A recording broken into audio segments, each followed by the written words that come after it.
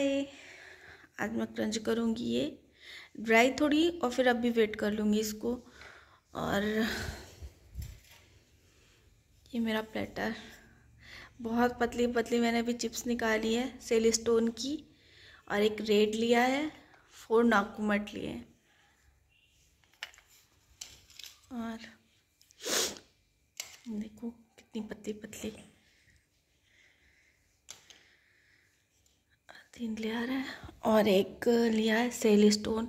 इसको मैंने सोक कर लिया है। चलो क्रंच करते हैं स्टार्ट। नकमत से।